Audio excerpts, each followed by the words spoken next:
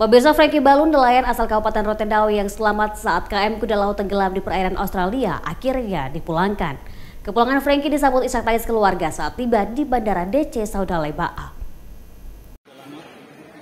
Frankie Balu salah satu dari tiga orang nelayan asal Kabupaten Rotendao yang selamat dalam musibah tenggelamnya KM Kuda Laut di perairan Australia akhirnya dipulangkan ke kampung halamannya. Frankie sempat dirawat di Australia sebelum dipulangkan ke Indonesia berkat kerjasama Duta Besar Indonesia di Australia dan pemerintah Provinsi NTT. Saat tiba di Bandara DC Saudale Ba'a, Frankie disambut isak tangis bahagia dari keluarganya.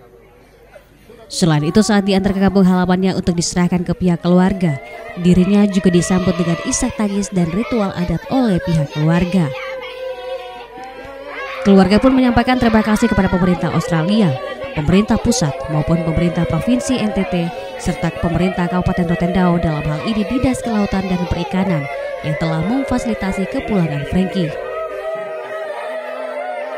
Bimbingan dan pernyataan pula saudara kekasih kita Adiriki Balu telah kembali di tengah-tengah kita, keluarga dan juga pemerintah desa dengan selamat. Dan ucapan terima kasih kedua yang ingin kami sampaikan juga kepada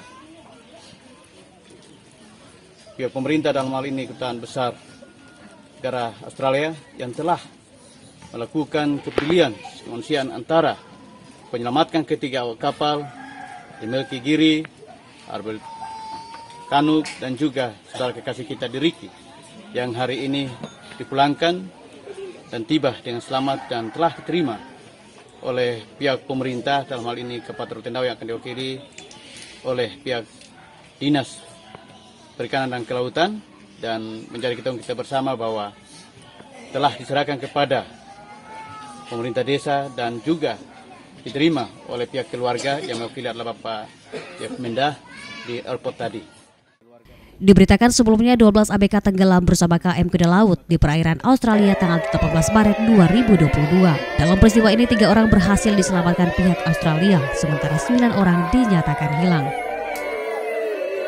Dari Rotendao, tim liputan iDews melaporkan.